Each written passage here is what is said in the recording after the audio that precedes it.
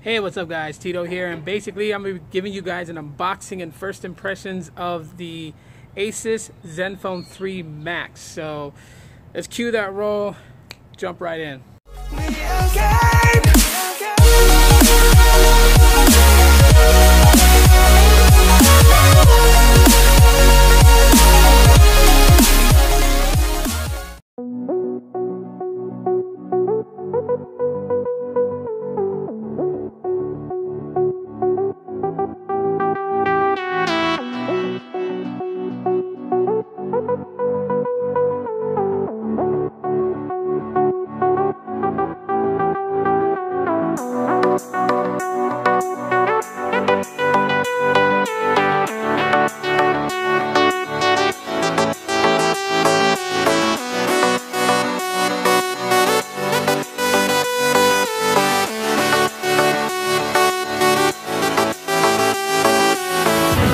The world ain't all sunshine and rainbows. It's a very mean and nasty place, and I don't care how tough you are, it will beat you to your knees and keep you there permanently if you let it. You, me, or nobody is gonna hit as hard as life. But it ain't about how hard you hit. It's about how hard you can get hit and keep moving forward. How much you can take and keep moving forward. That's how winning is done. Now, if you know what you're worth, then go out and get what you're worth. But you gotta be willing to take the hits and not pointing fingers saying you ain't where you wanna be because of him or her or anybody. Cowards do that and that ain't you. You're better than that.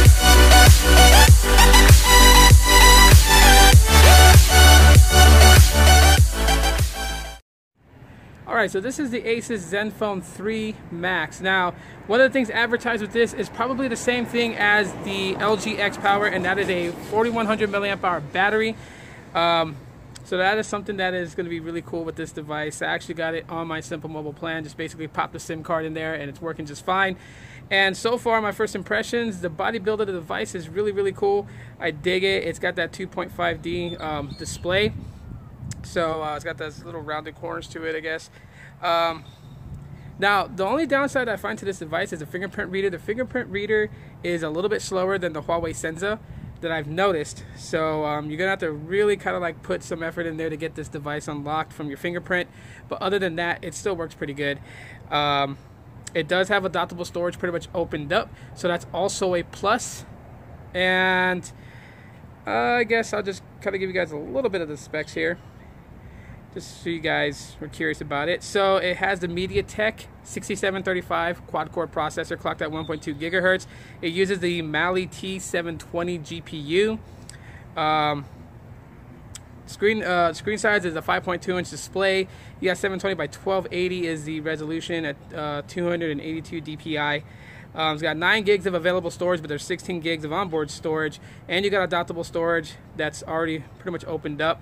Runs 6.0 Marshmallow and has a 4100 milliamp hour battery, 5 megapixel front facing shooter, and a 13 megapixel rear facing camera.